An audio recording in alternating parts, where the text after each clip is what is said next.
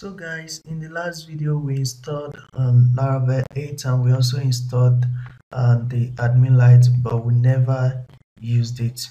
Uh, i just had to cut the video short because it was taking longer than i expected. But in this video i'm going to show you how to use the admin light. So uh, if you head over to head over to your css file which is this uh, we've included the admin light so what we just have to do is come over to the startup page and copy everything from here.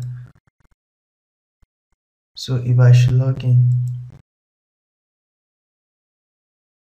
So if you remember in the last video we created an, an account and we called it um, let me try to log in to that account now and the password was password. And let's try to log in. Now we logged in. Um, what I said is I wanted I want to change this UI to something like this. So I'm going to copy everything here. Uh, I'm just going to copy from the body. Um, but before I do that uh, yeah I'm going to copy from the body. Um, HTML. So come over to your layout file under the resource folder, under view, layouts, and the app. Um, what I want to do is I want to change, I want to change this. Uh, I'm going to paste this over here. So um, that's it. And if I should refresh, so I have something like this. I have uh, I have what I wanted and uh, right now it's not looking exactly like this but we have what we want. So uh, I'm just going to make some changes to this. Uh, number one I'm going to remove the search bar this uh, the right uh, nav bars nav items now I'm going to remove the uh, some pages. So uh, let's just go over to the code and the first thing I want to do I don't like I don't like the way this code is messy. I don't like it at all.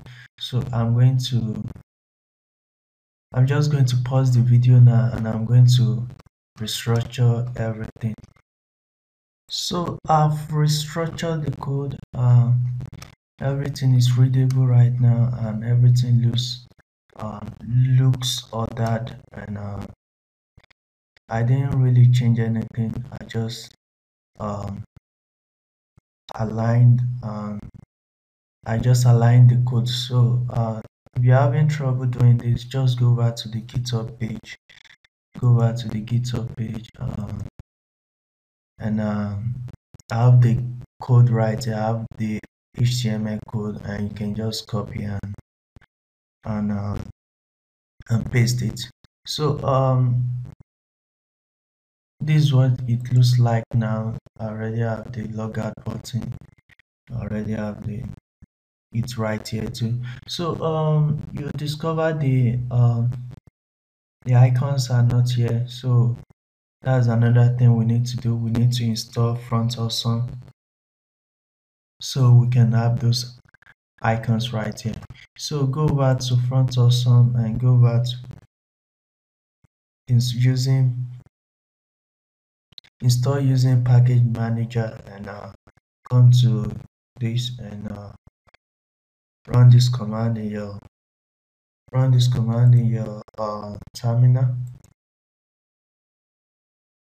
run the command and that's I've already done it. That is going to install Font Awesome to your um, to your project. So to use it just come over to the to your css file to the css file and install and import it. Just need to use this code right here and this is going to this is going to import the Font Awesome to your project and uh, wait for it to compile. This is going to compile everything together and uh, let's just wait for it to finish compiling. Now yeah so you can see everything right here. And if I should refresh so I have the icons right here. So I have everything all the icons and uh yeah.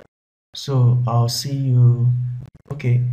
Before I leave I need to okay I'll do this in the next video. I need to okay. Okay before I leave I need to change some things right here. The font everything is not looking well. So what we just need to do is come over to this page and check uh, the body and you see the font used here you can just copy this.